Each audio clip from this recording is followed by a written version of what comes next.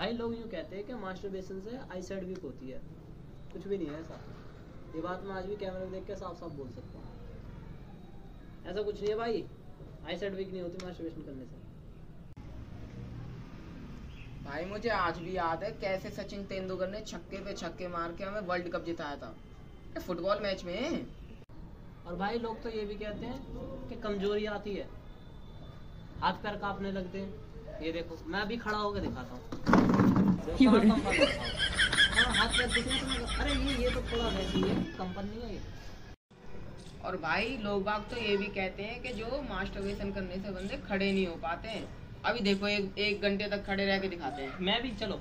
चलो भाई.